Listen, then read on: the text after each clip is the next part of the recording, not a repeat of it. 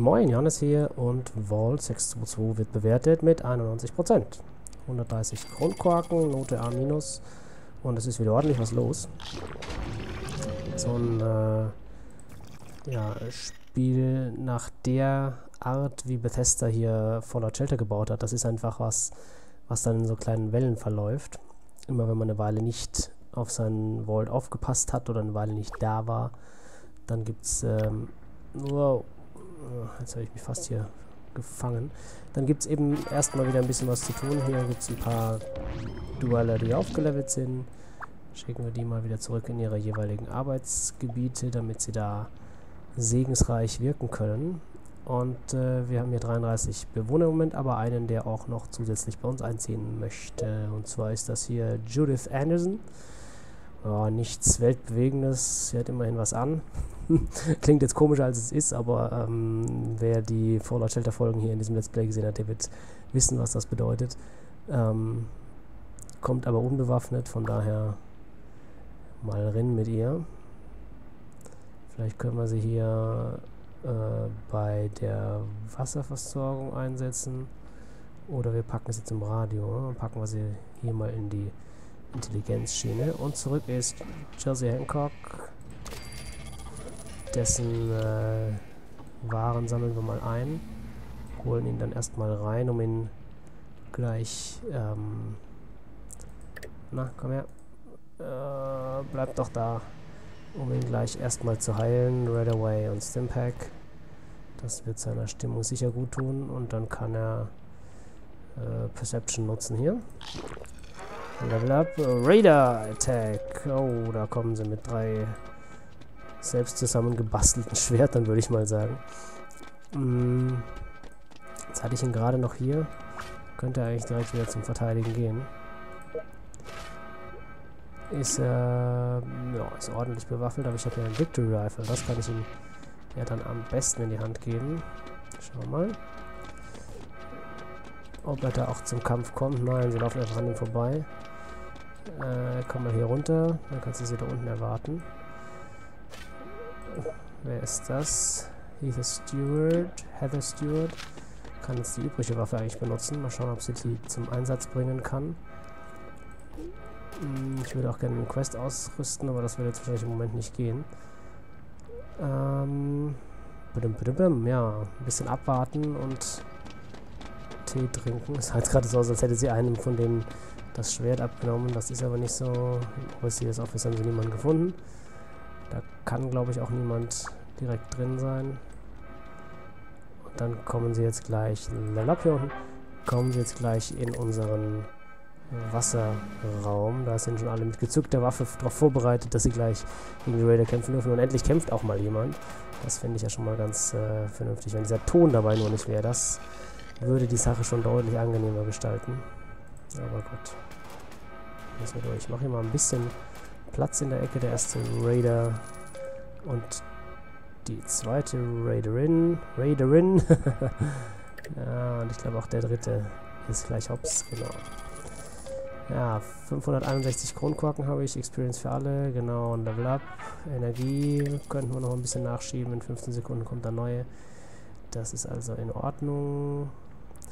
Ja, ich wollte hier unten nochmal Essen nachbauen und gucken insgesamt, äh, was ich so an Möglichkeiten habe. Ich könnte einen Waffen, eine Waffenproduktion aufziehen.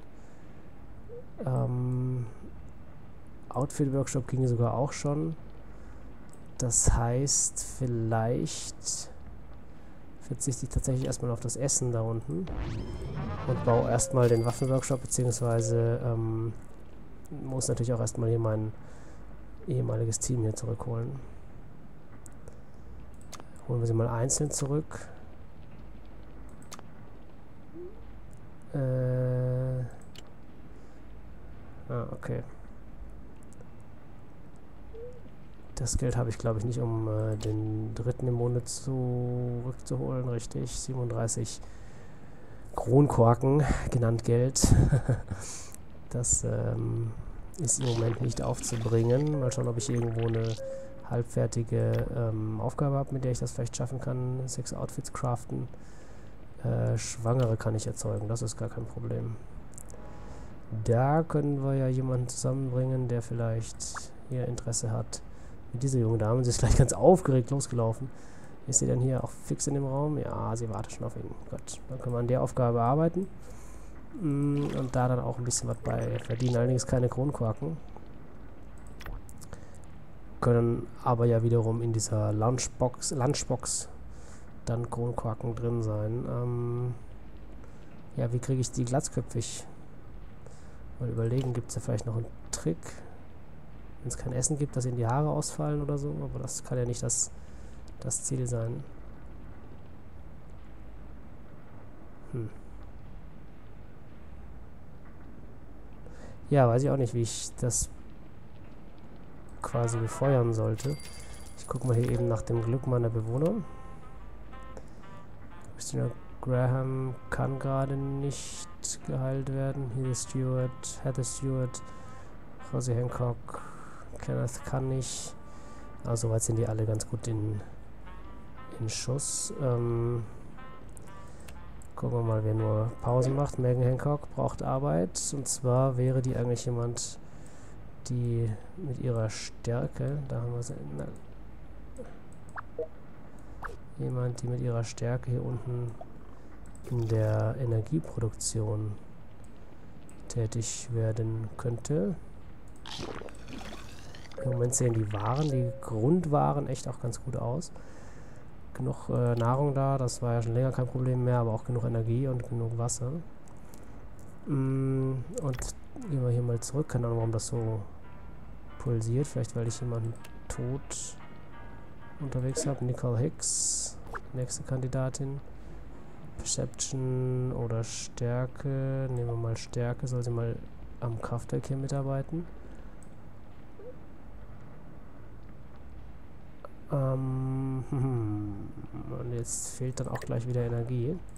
Können wir gleich mal den unteren hier rushen, den nicht ganz so gut gefüllten Energieraum. Und dann gucken, wie hier oben der Status ist. Ist auch gerade fertig geworden, also sind wir jetzt erstmal mit Energie gut versorgt. Fast 300 Einheiten haben wir davon und ähm, leider aber nur 80 Kronkorken. Oh, ich kann gerade auch keine Kronkorken kaufen. Nicht, dass ich es jetzt gewollt hätte, aber ich kann sie jetzt auch nicht.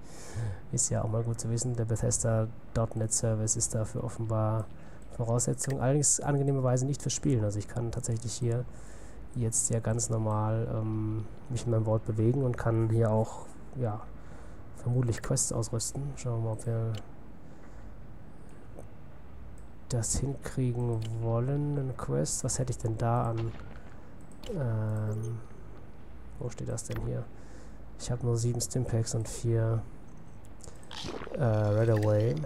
Kann ich hier vielleicht mehr Stimpaks erzeugen? Rushen wir mal den, den Raum da unten in dieser Klinik. Ach man, schon wieder gefailt. Das war in der letzten Folge schon so nervig. Und die Maulwurfsratten natürlich auch noch die schlimmsten von denen, die einem da so unterkommen können.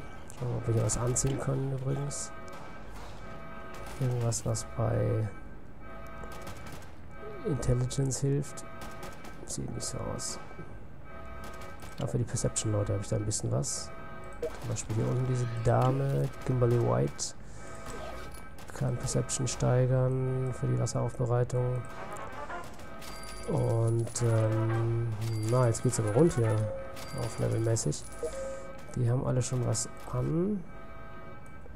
Gut, dann bleibt es dabei erstmal. Hier oben geht's hoffentlich auch voran. I saw a doctor, he said my body's deficient in vitamin U. also hier fehlt das äh, Vitamin Du. ah, ich glaube, da geht was. Wenn ich das mal so sagen darf, glaube ich, dass da was, dass da heute noch was vorangeht. So, jetzt können wir erstmal die ganzen Opfer dieses missglückten Rushes äh, sanieren. Ich versuche nochmal den Rush. Ah, fehlt schon wieder. Ich hatte 30% Gefahr und äh, 43% und es fällt zweimal. Also äh, die Wahrscheinlichkeit dafür ist nicht so hoch. Wer möchte, darf es in den Kommentaren ausrechnen, aber das ist... Ich musste eigentlich echt nicht rechnen, dass das zweimal schief geht. Jetzt schießt halt auf die blöde Ratte da. Auf die Kakerlake hier, jawohl. So, haben wir sie jetzt. Yo, Experience für alle. Huh, Party. Und 53% Gefahr. Ich rush hier so lange, bis das einmal funktioniert. Geht doch.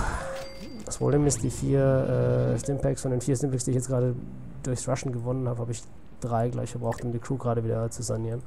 Nach dem ersten missglückten äh, Versuch. Bringt mich also nicht so richtig weiter. Ich habe immerhin 163 Kronkorken und Rushen bringt ja auch zusätzliche Kronkorken. Das äh, ist tatsächlich einer von den Wegen, auf denen man ein bisschen Kronkorken farmen kann. Äh, rushen wir mal hier. Nicht, dass ich jetzt direkt was er bräuchte. Äh, Morad, also die sehr nervigen. Aber sind alle sechs bewaffnet, alle vier bewaffnet, wunderbar. Dann sollte das ja hoffentlich relativ zügig zu erledigen sein. Äh, jupp. Experience für alle. Und hier hat auch nochmal die Essensproduktion gewirkt. 171 Kronkorken stehen mir im Moment zur Verfügung. Holen wir uns mal noch mehr Essen.